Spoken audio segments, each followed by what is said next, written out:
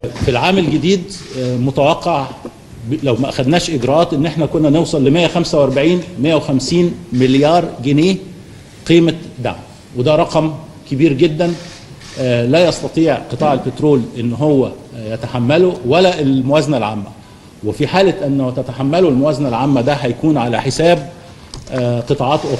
هيكون على حساب التعليم والصحة والخدمات وهيكون على حساب أيضا ال- الدعم الآخر اللي إحنا بنوجهه آه، وبالتالي كان لازم ناخد هذا الإجراء علشان نقدر نصحح المسار بالنسبة للدعم في آه، العام المقبل بإذن الله. عايز أقول إنه الإجراء اللي إحنا اخذناه هو إعادة توجيه للدعم. يعني إحنا بنتكلم على دعم في 2017 2018 بنتكلم على 333 مليار جنيه.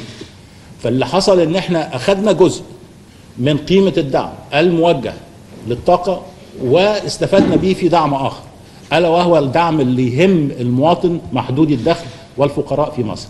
زي بطاقة التموين زي برنامج تكافل وكرامة زي زيادة المعاشات وأيضا أخذنا جزء وزودنا بيه الأجور بنسبة 7% للمخاطبين بقانون الخدمة المدنية و10% للغير المخاطبين بخلاف العلاوات الدورية. يعني إحنا هذا هذا جزء من هذا الدعم يعني خدنا الدعم ده ووجهناه لمحدود الدخل.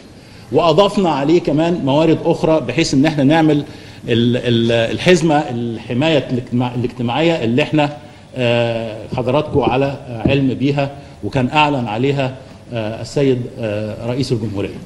ده الإجراء اللي إحنا اخذناه في الوقت الحالي. فإحنا عملنا حماية اجتماعية للمواطنين محدود الدخل والفقراء. وفي نفس الوقت أعدنا توجيه آه، الدعم مرة أخرى لهذه الفئة من المجتمع. إحنا دايما كنا بنقول أن الدعم لا يصل إلى مستحقيه. ودايما بن- بنقول إن إنه ليس هناك عدالة في التوزيع فيما يخص الدعم. ده الإجراء اللي إحنا بناخده النهارده. إحنا بنحاول النهارده إن إحنا نصحح مسار هذا الدعم بإن إحنا نقلل قيمة الدعم في في- في في الطاقة ونوجهه إلى آه، آه، يعني قطاعات أخرى سواء كان في التنمية سواء كان في الخدمات سواء كان في دعم مباشر للمواطن المصري محدود آه، الدخل. ده الإجراء آه، اللي إحنا اخذناه النهارده وهذا الإجراء هو جزء من آه، منظومة ال- آه، الإصلاح الاقتصادي اللي إحنا بنشتغل عليها.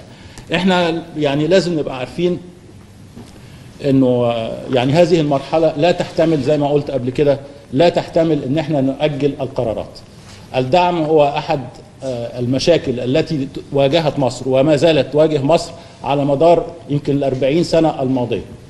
إحنا بنواجهها النهاردة وبنواجهها بقوة وبنواجهها بهدف إن إحنا نصحح مسار آه، هذا هذا الأمر ونعيده مرة أخرى إلى المسار الصحيح بحيث يبقى إحنا ما بنقولش ما فيش دعم إحنا بنقول يبقى في دعم ولكن الدعم لمن يستحقه وليس دعم آه، يعني بشكل عام لا يستفيد منه من آه، يعني يحتاج فعلا لهذا.